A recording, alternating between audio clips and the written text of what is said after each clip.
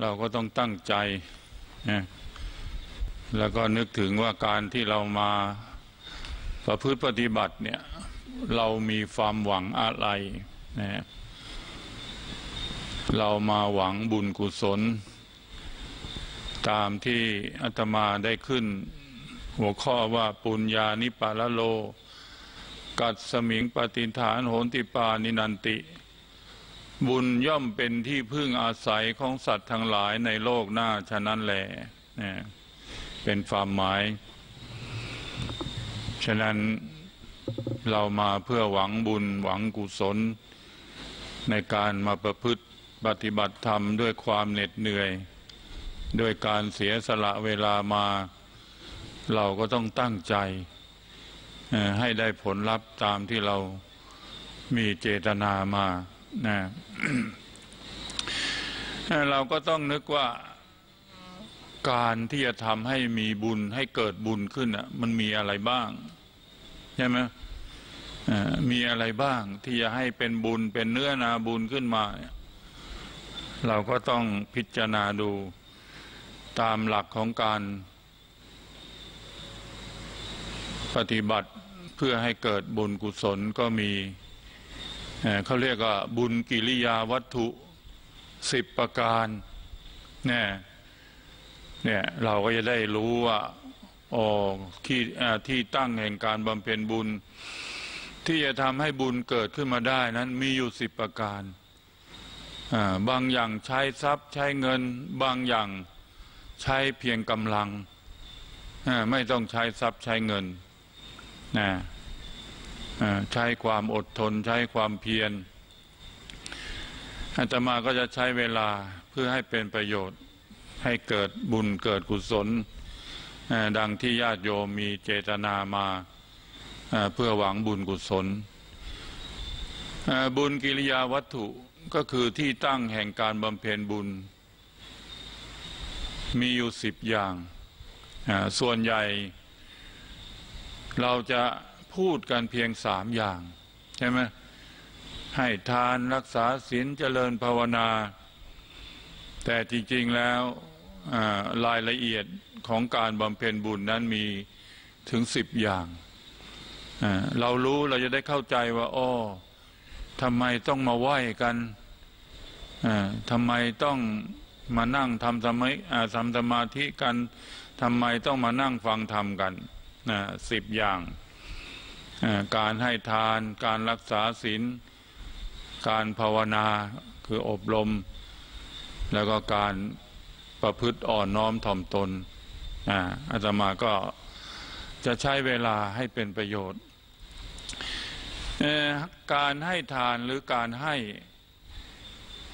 มีสามลักษณะเนี่ยพยายามจำให้เกิดปัญญาว่า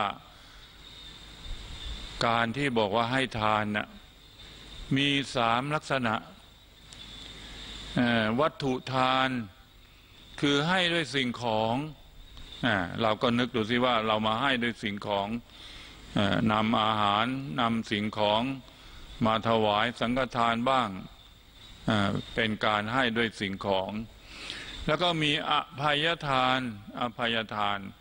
คือการให้อภัยกันอ ในการถือโทษถือโกรธเราให้อภัยกันในการไม่พอใจกันอะไรต่าง ๆ แล้วก็ธรรมทาน ให้ธรรมะเป็นทาน ย่อมชนะการให้ทั้งปวงเนี่ยเราก็ต้องรู้จักว่า เรา จะเป็นผู้ให้อะไรได้บ้างนะ ให้สิ่งของวัตถุก็คืออาหาร ให้เพื่อเพิ่มเลือดเนื้ออพิสุแล้วก็นักปฏิบัติทำให้สามารถมีอายุยืนยาวอยู่ได้ อาหารเป็นเรื่องสำคัญ คนเราต้องมีอาหารเพื่อเลี้ยงชีพ เพื่อยังอัตภาพให้อยู่ได้อาตมาพูดเสมอว่าการให้ทานด้วยอาหารเนี่ยมีอานิสงส์มาก มีประโยชน์มาก เพราะว่าช่วยให้พระมีอายุยืนยาวอยู่ได้ พระเป็นผู้ที่นำเอาศาสนายืนหยัดอยู่ได้ เมื่อพระอยู่ได้ศาสนาก็ยังอยู่ได้ ฉะนั้นก็คือการให้อาหารนั้นเปรียบเหมือน ช่วยให้ศาสนามีอายุยืนยาวอยู่ได้นะให้เข้าใจตรงนี้ว่าการให้อาหารอย่านึกว่าให้เพียงเล็ก ๆ น้อย ๆ ฝากกันไปก็ได้นะแต่มีอานิสงส์มากให้เข้าใจด้วย ให้สิ่งของก็คือเป็น เครื่องนุ่งห่มเป็นอะไรต่างๆเอ่อตอนนี้เราก็พิจารณาให้ให้ละเอียดถึงการให้นะถ้าเรามองกันว่า เอ๊ะมาวัดเราเอาอาหารมาถวายพระนำเครื่องนุ่งห่มเป็นจีวรอะไรมาถวายพระของใช้ถวายพระก็คือบำรุงด้วยปัจจัยสี่ นะปัจจัยสี่ก็สี่อย่างนะทำความเข้าใจให้ดีว่าคำว่าปัจจัยสี่เราไปเข้าใจกันว่าเงินเอ่อเป็นปัจจัยสี่นะปัจจัยสี่มีสี่อย่าง ปัจจัยสี่คือเครื่องอาศัยมีสี่อย่าง อาหาร เครื่องนุ่งหม่ม ที่อยู่อาศัย ยารักษาโรคเนี่ยเราต้องเข้าใจแล้วคำว่าปัจจัยสี่ในฐานะที่เราถือศาสนาพุทธ ในฐานะที่เรามานะเป็นนักปฏิบัติเนี่ยเราต้องทำความเข้าใจ ในการกระทำให้เกิดปัญญาให้ได้ เนี่ยให้รู้ว่าปัจจัยสี่คืออาหาร เครื่องนุ่งห่มที่อยู่อาศัย คือที่เรามาสร้างกุฏิเสนาสนะแล้วก็ยารักษาโรค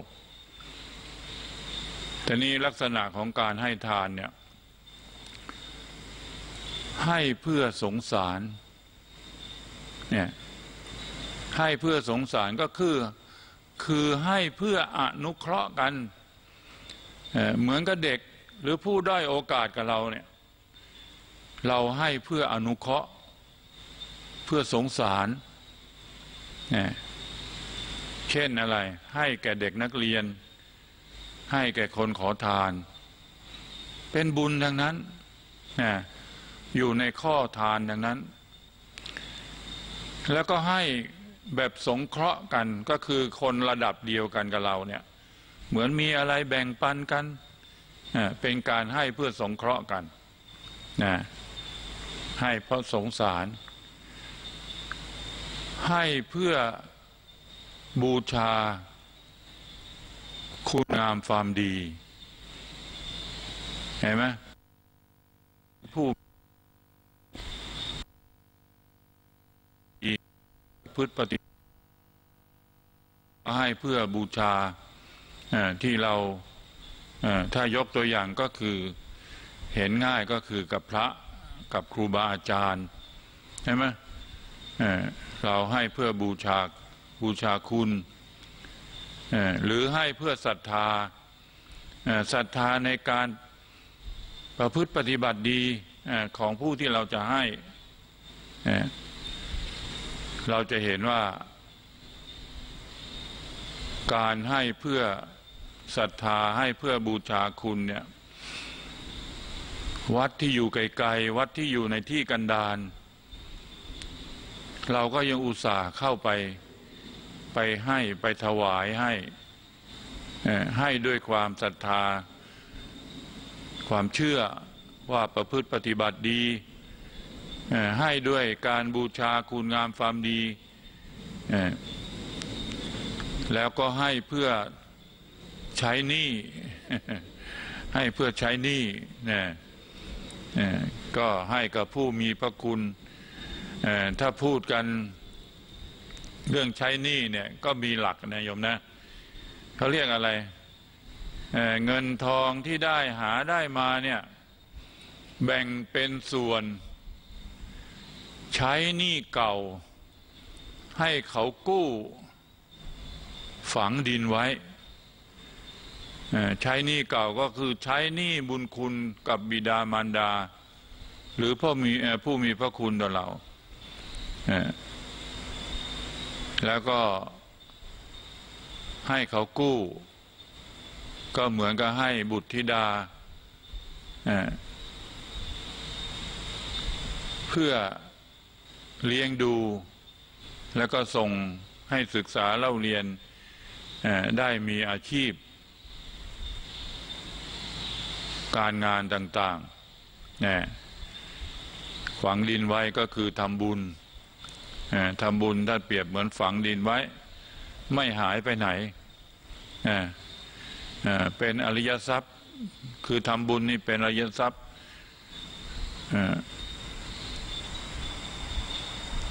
ถูกไฟไม่ไหม้อะไรตกน้ำไม่ไหล ถูกไฟไม่ไหม้โจรแย่งชิงไปไม่ได้ เนี่ยทรัพย์สมบัติที่เรามาสร้างกันเนี่ย โจรแย่งชิงไปไม่ได้ เป็นอริยทรัพย์นะเป็นทรัพย์อันประเสริฐ ฉะนั้นเราจะได้เข้าใจว่าอ๋อการให้ทานนี่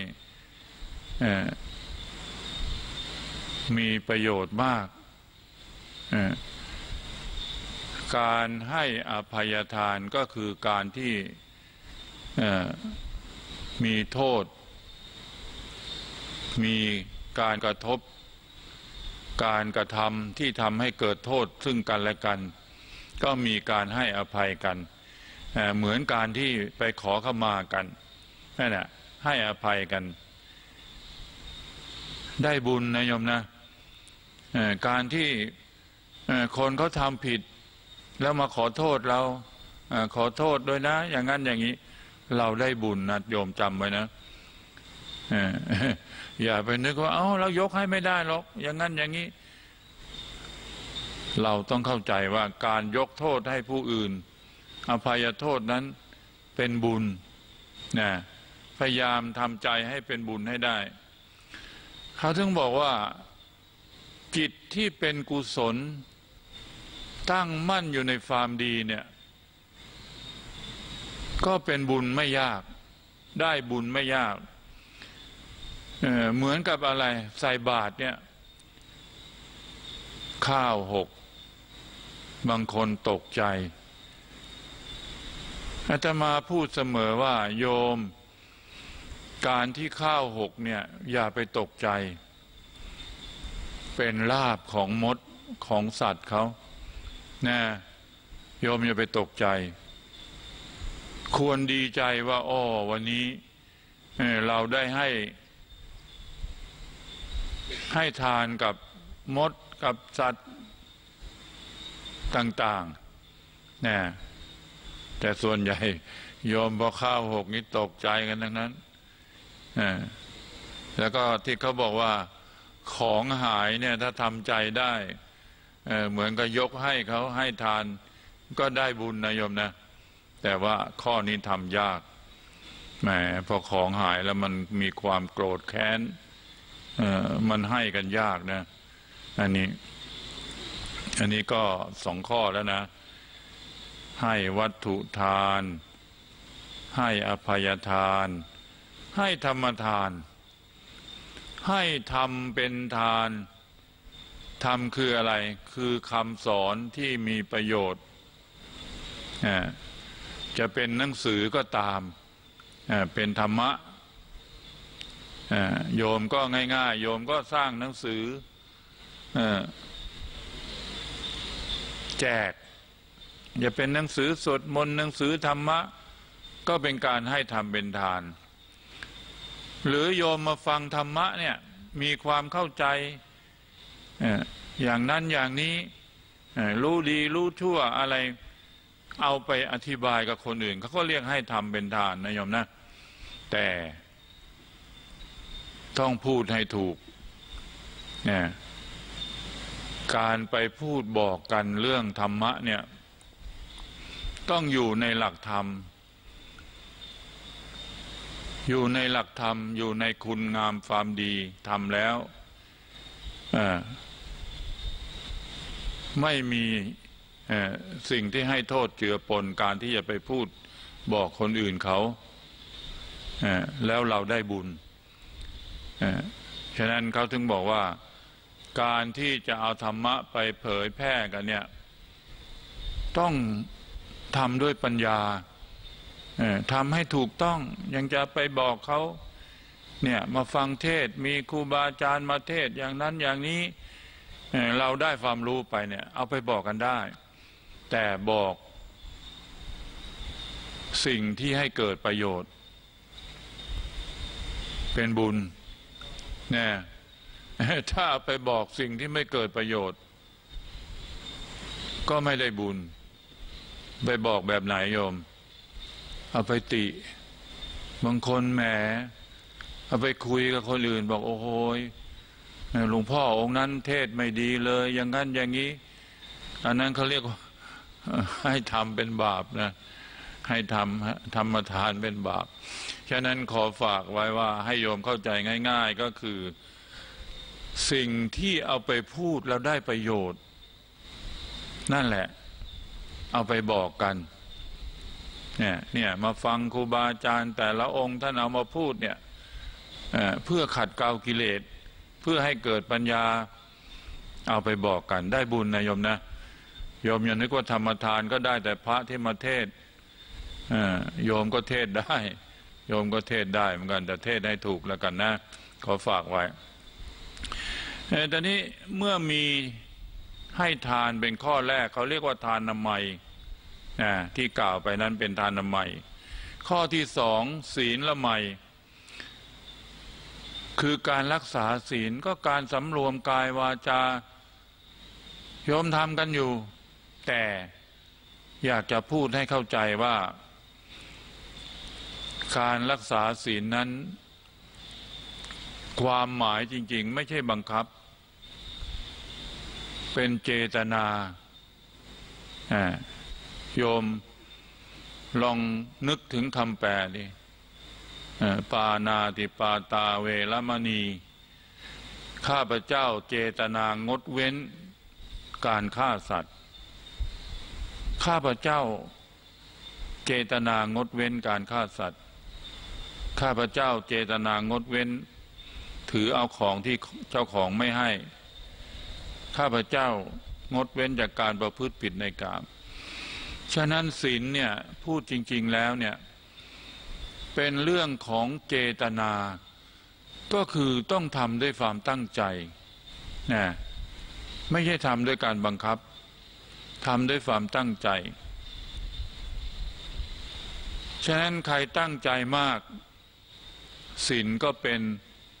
วิสุทธิเขามีอะไรจิตวิสุทธิศีลวิสุทธิ จิตวิสุทธิก็ทำสมาธิให้ดีเป็นจิตวิสุทธิศีลวิสุทธิทำศีลให้บริสุทธิ์ โยมรักษา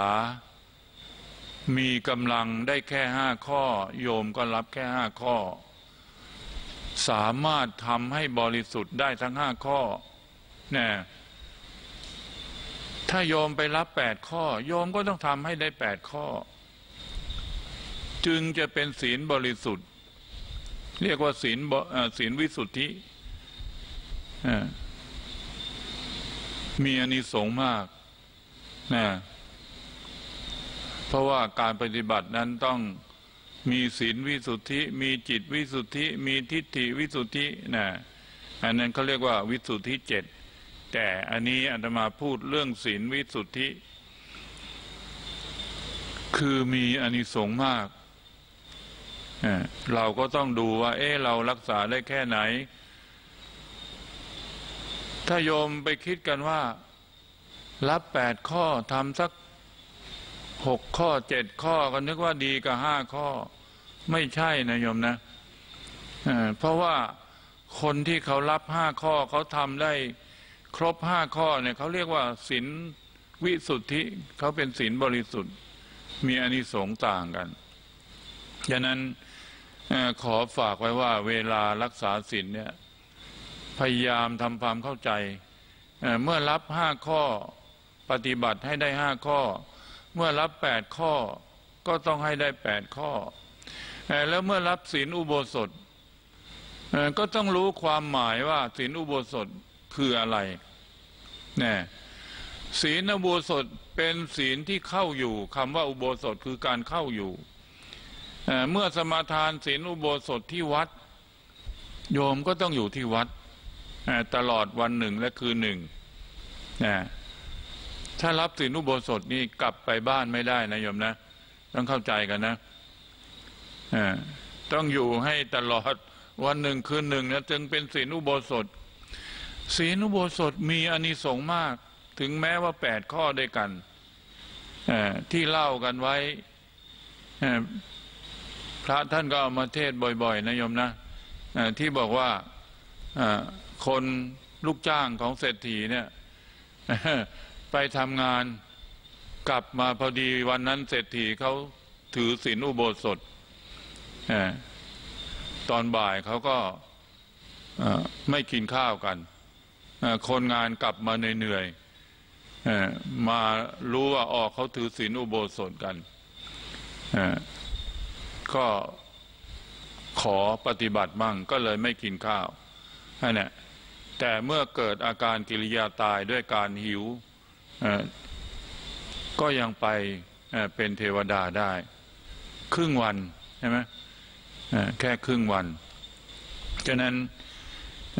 จึงว่าศีลอุโบสถนั้นมีอนิสงส์ต่างกับศีลแปดเพราะว่าเป็นศีลที่เข้าอยู่เข่งครัดเเมื่อรับศีลแล้วจะไม่ออกไปที่อื่น ตลอดวันหนึ่งและคืนหนึ่งแล้วก็ การบริโภคอาหารก็เช่นเดียวกับศีลแปดจากงดเว้นจากเที่ยงวันไปจนอรุณรุ่ง หรือรุ่งอรุณ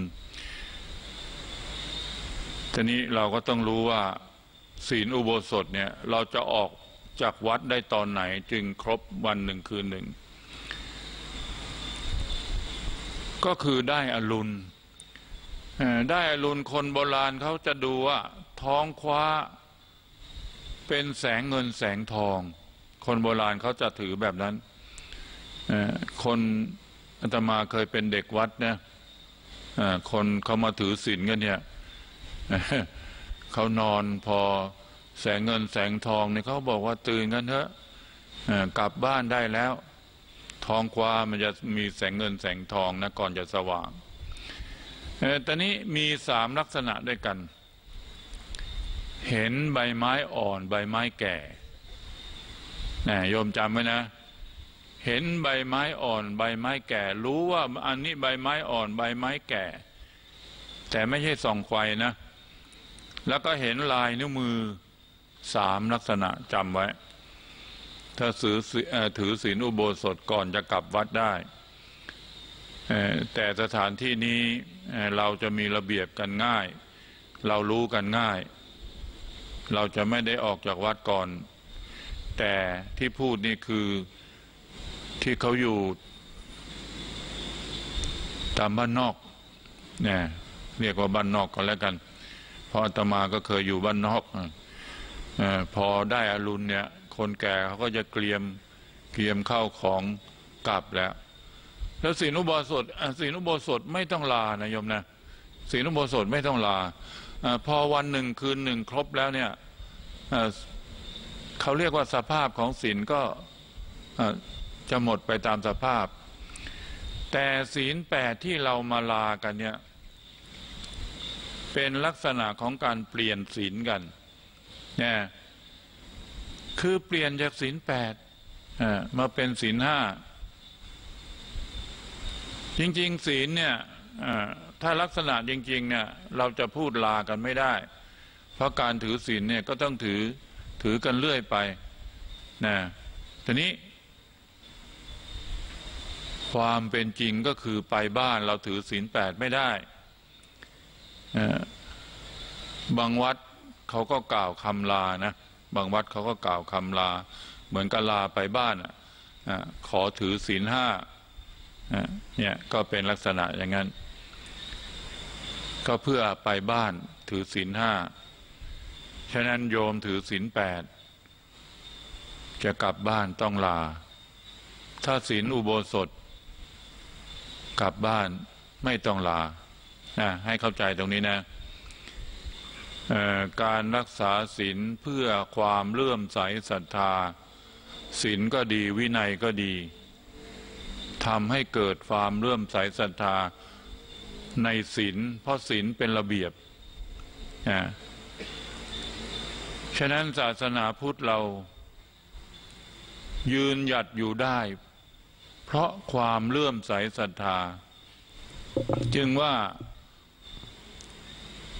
เราจำเป็นต้องถือศีลเพื่อบุญกุศลอย่างหนึ่งจำเป็นต้องถือศีลเพื่อ ช่วยกันจันลงพระพุทธศาสนาเนี่ยพระที่ถือศีลสองร้อยิบเจ็ดเนี่ยทำให้เกิดความเรื่อมใสศรัทธาทำให้ศาสนาอยู่ได้ ฉะนั้น พระต้องสร้างความศรัทธาหลาย ๆ อย่างนะบัญญัติไว้ว่า พระ พิสุจะต้องไม่หุงอาหารบริโภคเอง ต้องบินทบาทเนี่ยโยมสังเกตดิทำไมจะต้องมีลักษณะว่าเหมือนกับบังคับต้องให้บินทบาทก็คือให้ทำตัวให้โยมศรัทธาไม่เย่อหยิ่ง ถ้าเย่อหยิ่งโยมไม่ใส่บาตรให้แน่ใช่ไหมฉะนั้นพระพุทธเจ้าฉลาดต้องบินทบาทเป็นวัดต้องนุ่มนุ่งห่มผ้าบางสกุลอยู่โคนไม้เป็นวัดสมัยก่อนนะแล้วก็ฉันยาดองด้วยน้ำมูดเน่าเป็นกิจที่จะต้องทำบวชวันแรกนี่จะบอกไว้เลย กิจที่จะต้องทำ บินทบาทนุ่งห่มผ้าบางสกุลอยู่โคนไม้ แต่เดี๋ยวนี้เราไม่ได้อยู่โคนไม้กันแล้วแล้วก็ฉันยาดองด้วยน้ำมูดเน่า สมัยก่อนอที่ใช้สมอก็คือใช้แบบสมัยก่อนนะโยมนะใช้สมอใช้มะขามป้อมดองเนี่ย เป็นมูดเน่าก็น้ำปัสสาวะ แต่เดี๋ยวนี้มียาเยอะเราก็ใช้ยากัน ฉะนั้นโยมก็จะได้เข้าใจว่าอ้อพระนี่จะต้องบินทบาทถ้าเห็นพระหุงข้าวบริโภคเอง ไม่ใช่นะ ไม่ใช่ เพราะอะไรวินัยบอกไว้เลย เก็บอาหารไว้ในกุฏิไม่ได้ทำให้สุกในกุฏิก็ไม่ได้ทำให้สุกเองก็ไม่ได้ เป็นอาบัติ เป็นอาบัติบังคับหมดนะเนี่ยในวินัยบอกไว้หมด เก็บของฉันไว้ในกุฏิไม่ได้ เออโยมจะได้เข้าใจนะจะได้รู้ระเบียบเพราะว่า พระเนี่ยเก็บของฉัน เป็นอาหารเนี่ยไว้ในกุฏิไม่ได้ทำให้สุกในกุฏิไม่ได้ ไปหุงในกุฏิเนี่ย คนอื่นหุงก็ไม่ได้ แล้วก็ทำให้สุกเองก็ไม่ได้ทำให้สุกเองไม่ได้ หมายความว่าอยู่ข้างนอกก็ทำให้สุกไม่ได้ นอกกุฏิก็เพราะงั้นข้าวอาหารเนี่ย พระไปทำเองไม่ได้นะโยมเข้าใจนะอย่าไปนึกว่าเอ๊พระที่ท่านอยู่องค์เดียวท่านเดินบิณฑบาตไม่ไหว ท่านก็หุงข้าว ฉันได้หรือมั้งเพราะว่ามีวินัยบัญญัติไว้นะโยมนะ เนี่ยโยมจะได้เข้าใจหลาย ๆ อย่าง วันนี้อาตมาอยากจะพูดกันเรื่องให้โยมเข้าใจในการสร้างบุญสร้างกุศลเนี่ยเพื่อจะได้เกิดปัญญาเนี่ยอันนี้พูดเรื่องศีลโยมก็เข้าใจกันแล้วนะ เรื่องศีลทีนี้ก็พูดถึงเรื่องภาวนา ภาวนาใหม่คือการอบรม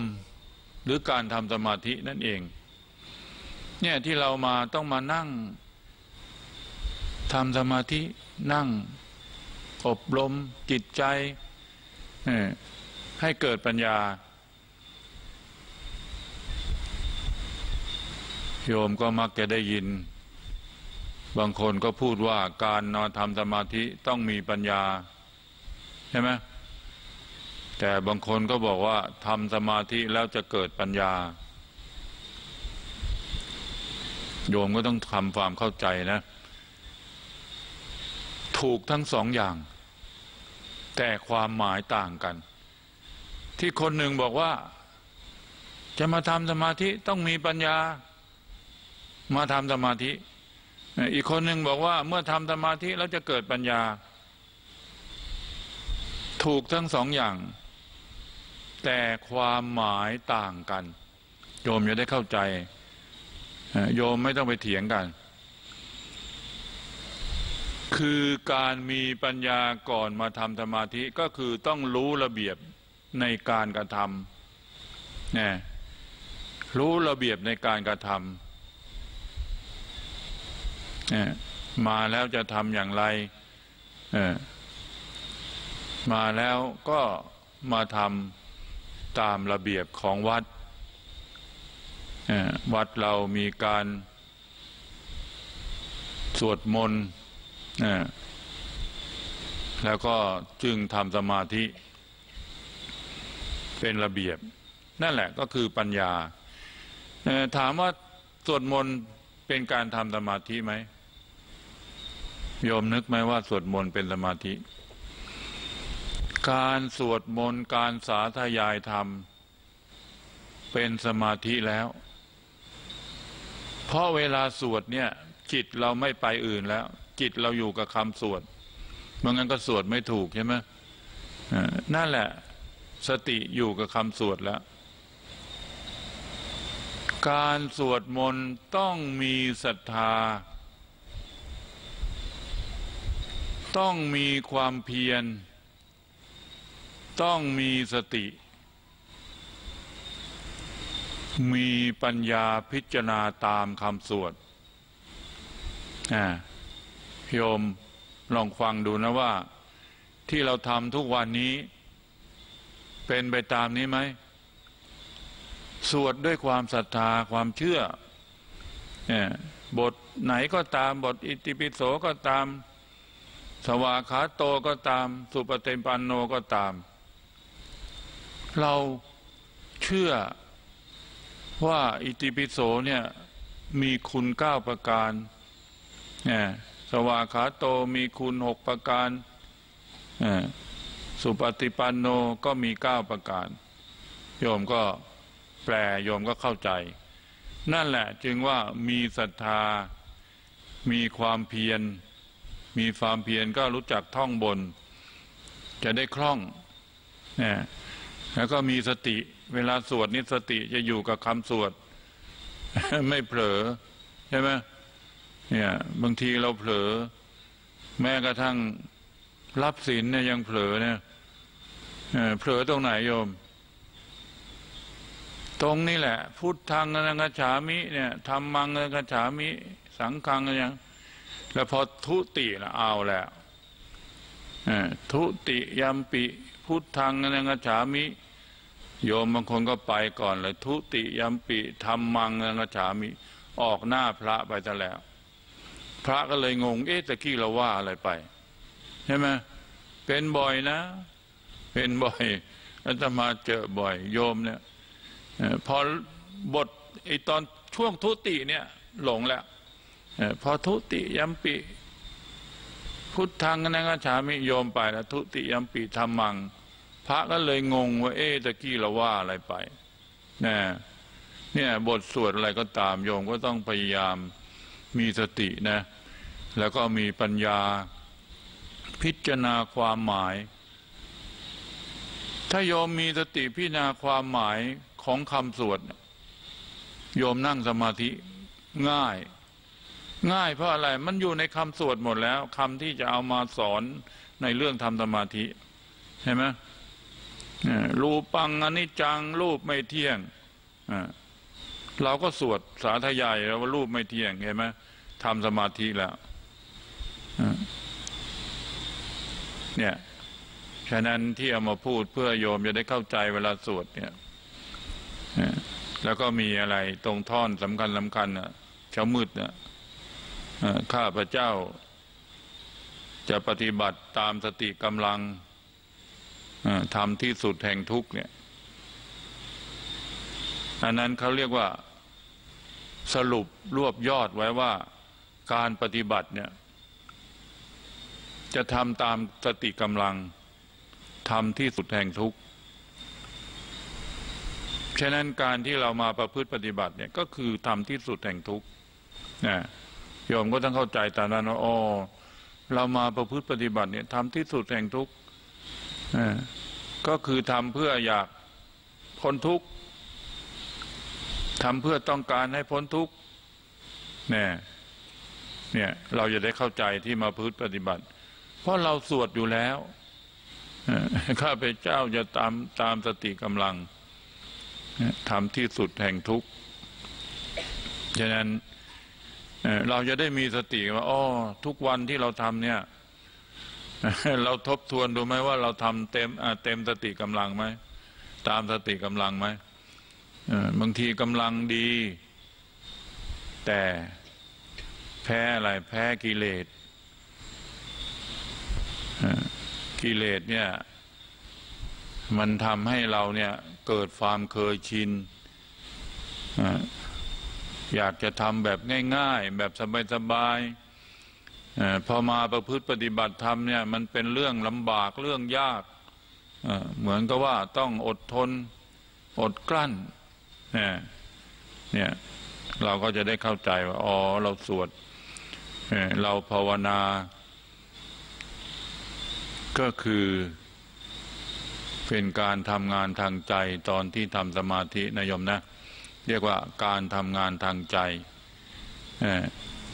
การสวดเนี่ยเราใช้ทั้งวาจาทั้งใจ แต่พอทำสมาธิ หยุดจากการสวดเนี่ยก็คือมาทำงานทางใจ เราเอากายมาเป็นที่ตั้ง ก็มีสติรู้กาย ว่ากายนั่งในท่าใดนุ่งห่มผ้าสีใดนะพิจารณา หลับตา การทำสมาธิ หลับตาก็ได้ลืมตาก็ได้ ตามหลักความจริง นั่งอย่างไรก็ได้ แต่ที่ครูบาอาจารย์ แนะนำให้นั่งคัตมาดก็เพื่อมีฐานกว้างนะฉะนั้นโยมก็ต้องเข้าใจว่าอ๋อถ้าเรานั่งคัตมาดไม่ได้ นั่งพับเพียบก็ได้นะโยมนะ นั่งเก้าอี้ก็ได้ ให้ได้ทำกันแล้วกัน แล้วก็การหลับตาลืมตาเนี่ยก็มีความความหมายของประโยชน์ที่ทำหลับตา เพื่อให้พิจารณาเข้ามาภายในตัวเรา ถ้าลืมตาเนี่ยมันออกไปเห็นข้างนอก มันก็เป็นเหตุให้เกิดทุกข์ ถ้าหลับตาเนี่ยเขาเรียกว่าเป็นนิโรธ ดับทุกข์ ฉะนั้นโยมก็พยายามหลับตาดีกว่านะ หลับตาดีกว่า แต่หลักความจริงลืมตาก็ได้ หลับตาก็ได้อาตมาชอบพูดสิ่งที่ให้ความรู้ แต่ให้โยมพิจารณาเอา เพราะอะไรเพราะว่ามีบางคนก็รู้ดี พระสอนให้หลับตาเนี่ยก็เถียงลืมตาก็ได้ ก็จริงอยู่ลืมตาก็ได้ หลับตาก็ได้ แต่ผลประโยชน์ต่างกัน เข้าใจตรงนี้นะอัตมาอยากจะแก้ให้โยมได้เข้าใจสิ่งที่มันมันเขาเรียกอะไร เป็นเรื่องหงุดหงิดของใจถ้ามันงั้นโยมก็จะมีเรื่องหงุดหงิดใจอยู่เรื่อยพอพอพูดแนะผู้แนะนำเนี่ย พูดผิดไปนิดก็ไม่ยอมแล้วนะคนเราเป็นอย่างนั้นนะมันถือดีคนเราเนี่ย มันไม่ค่อยยอมคนอื่นคนอื่นผิดนี่รู้เลย ไม่ยอมอะเหมือนกันทุกคนแหละนะฉะนั้นอาตมาพูดเพื่อให้โยมได้ทำใจว่าโอ้เอ่อการที่หงุดหงิดใจเนี่ยมันเป็นสิ่ง ขัดขวางในการประพฤติปฏิบัติธรรม ฉะนั้นจึงว่าให้ทำใจให้อ่อนโยนนะแต่ไม่ใช่อ่อนแอ อ่อนโยนหมายความว่าอ่อนตามคำบอกเล่าคำพูดอะไรเราทำตามได้หมดนะถึงแม้จะไม่ถูกใจเราก็ต้องยอม